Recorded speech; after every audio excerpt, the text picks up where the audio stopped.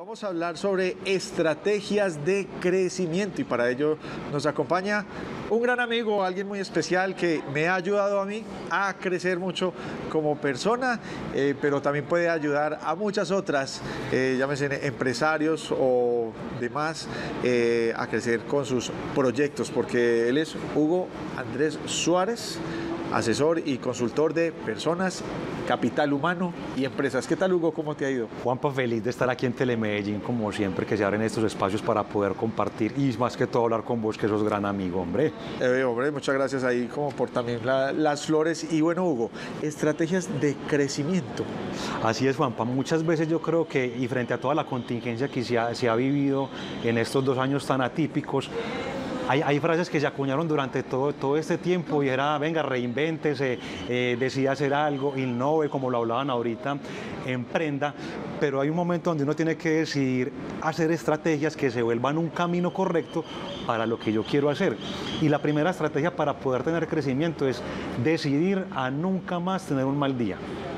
Ojo. Decidir a nunca más tener un mal día. Nunca más tener un mal día. Un mal día. Esto no me lo estoy inventando yo. Hunter Pasadans, al que le hicieron película, ¿cierto? El payasito médico, hablaba de eso, de que para uno poder empezar a crecer, tiene que empezar por tomar decisiones. Y una de las principales decisiones, Juanpa, que uno debe tomar es eso, a que no hayan más malos días. Y en esos malos días, empezar a hacer estrategias que nos conduzcan al buen camino. Qué bueno es, Hugo, porque pues, un error que cometemos mucho es a catalogar los días. De por sí el lunes ya lo ponemos como un mal. No, es que el lunes es un día como aburridor, es un día perezoso, es un día como que, como que no es tan chévere como los otros. O calificar el día de hoy. Ah, es que hoy me levanté con el pie izquierdo. Entonces hoy me va mal porque me levanté con el pie izquierdo o tuve un contratiempo en la mañana y así ya voy a definir que... Ve, Juanpa, me haces acordar de algo en, ese tema que estás diciendo y es un, cantautor argentino como Facundo Cabral decía eso, el, universo no tiene tiempo. O sea, el, tiempo es una invención, una invención humana y donde nos catalogan los días. El universo no sabe qué día es, si es lunes, si es viernes, no sabe la hora, no sabe los tiempos. Y ahí entra una decisión muy importante también, Juanpa, de nosotros como personas, como seres humanos, como en las relaciones interpersonales que manejemos, también como un segundo paso para empezar a usar estrategias, y es erradicar el ruido mental. ¿Y qué es erradicar el ruido mental? Muchas veces nosotros para poder hacer muchas cosas soñamos, idealizamos y estamos esperando el ideal de lo perfecto para hacerlo. Ahora escuchaba las la veterinaria que decía, ay, qué rico poderme ganarme la lotería para montar un, un hogar de perros. No, no idealicemos y, quitemos el ruido mental de nuestras mentes que es que nos dice no se puede, tengo miedo, me dan nervios, este no es el momento, este no es el día, no, es el ya, es el ahora, este sí es el momento y es el paso a paso para tomar las decisiones que nos lleven a ese crecimiento que todo el mundo desea y todo el mundo quiere lograr. ¿Cómo podrías definir vos, Hugo, que, que, uno está creciendo, que, uno ya pues, eh, va como avanzando? Juanpa, la mejor forma de crecer es cuando estás en crisis. Las crisis es empezar a erradicar lo viejo y empezar a tomar lo nuevo. Y ningún marinero se forjó en el puerto, el marinero se forja en la tormenta. Entonces, cuando te das cuenta que creces, cuando estás en, momentos de crisis, cuando estás en momentos de conflicto, cuando la vida te incomoda, es cuando verdaderamente uno empieza a crecer, empieza a proyectarse y es ahí cuando ustedes que están detrás de las pantallas sientan esos momentos de crisis y de conflicto. Hey, es que la vida te está poniendo en estos momentos, en ese sitio, es para que aprendas, es para que te formes y es para que empieces a proyectarte a lo que es el verdadero crecimiento.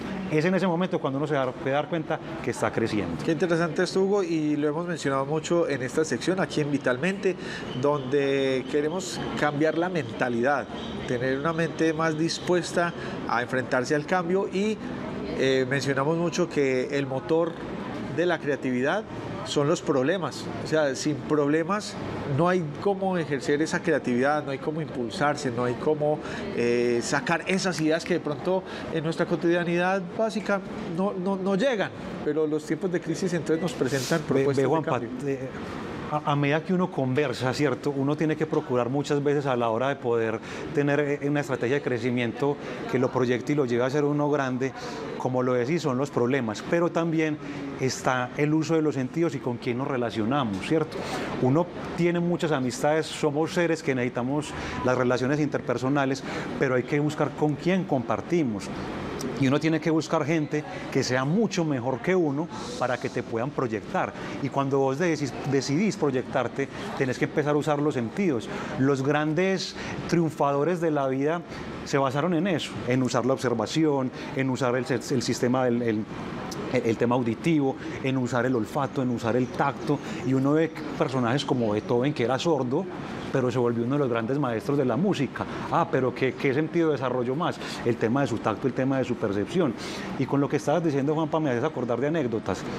En los años 60, eh, en, el tema de la, de la exploración espacial, ¿cierto?, entre hemisferio occidente y hemisferio oriente, uno de los grandes problemas era cómo vamos a escribir afuera del espacio si no hay gravedad. Entonces, eh, eh, la, empresa que en esos momentos quería llegar allá en el hemisferio occidental se gastó 12 millones de dólares en pensar cómo hacemos que la tinta del lapicero baje a la punta. Hasta que llegó un ingeniero y dice, pues no usemos lapiceros, usemos un lápiz. ¿Ya? Y se arregló el problema. Así muchas veces es en la vida, Juanpa, con lo que estás hablando, ¿cierto?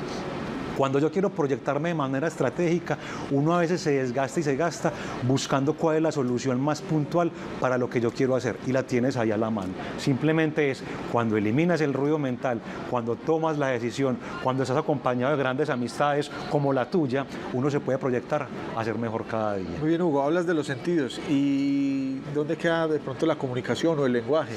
A ver, entramos al tema también, Juanpa, de los lenguajes y, para poder uno proyectarse en la vida, uno tiene que aprender a leer el lenguaje de las demás personas. Y a veces el lenguaje no es solo tan verbal, el lenguaje es facial, el lenguaje es expresivo, el lenguaje es de manos. No es lo mismo el personaje que estás ahí, que está seriote, como estás, a como uno conoce a Juan Pablo, que es un man que está siempre activo, que está creativamente disparado. Entonces el uso del lenguaje es muy importante a la hora de poder triunfar, pero el uso del lenguaje es más importante cuando yo aprendo a leer al otro a leer que el otro tiene un tipo de lenguaje, una forma de expresarse, una forma de hablar, una forma de, de, hacer sus cosas y cuando yo lo empiezo a leer uno se puede proyectar de mejor manera. En ese tema del lenguaje también es muy importante nunca idealizar, nunca estemos esperando el mejor momento con la otra persona porque el crecimiento y las estrategias del crecimiento también hacen parte de comprender y entender al otro. Genial, Hugo. Qué bacano esto. Buenas, Manuela. ¿Cómo me le ha ido, don Hugo? ¿Cómo, me le ha ido, doña Manuela Estegas? Qué placer verte. ¿Cómo has estado? Muy bien. querido, ¿sabes qué? Te quiero volver a invitar para que tengamos una segunda parte de esto. Perfecto. Le ponemos así como en las películas. El suspenso. To be continued, sí. Exacto. Gracias por estar aquí en mi parque, tu casa. Gracias por conectarnos con esto. ¿Cuáles son las redes sociales? ¿Dónde te encontramos? Pues me pueden buscar en Hugo André Suárez, ¿cierto? Eh, en, Facebook, teléfono también ahí estar apareciendo en pantalla, 317-212-4582.